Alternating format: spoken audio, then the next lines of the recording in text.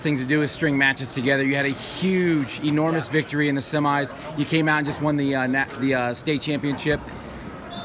What do you what do you attribute your mental toughness to? Is it being a little brother? Um, I'll tell you what, that plays a big part because uh, Drew, of course, and I mean, I look at other guys as my big brother too, but they always beat up on me, and I mean, my mental toughness from them just beating the crap out of me every day, and hopefully I get to that, do that to Zach and some other teammates. Excellent. I just heard you answering something about winning two state titles, you and someone else, and uh, Yeah.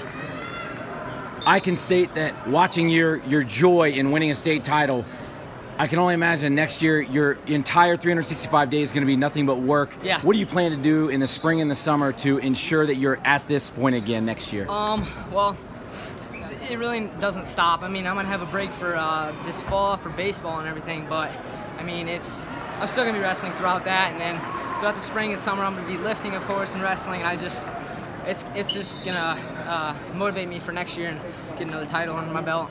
Does Drew already know? Does Drew already Um, know you got a state championship? I'm gonna, I'm gonna guess he does know. Yeah, I'll probably be calling him as soon as this is over. But hey, that's fantastic. Congratulations on the Thank state you. title. Best of luck moving forward. thank you.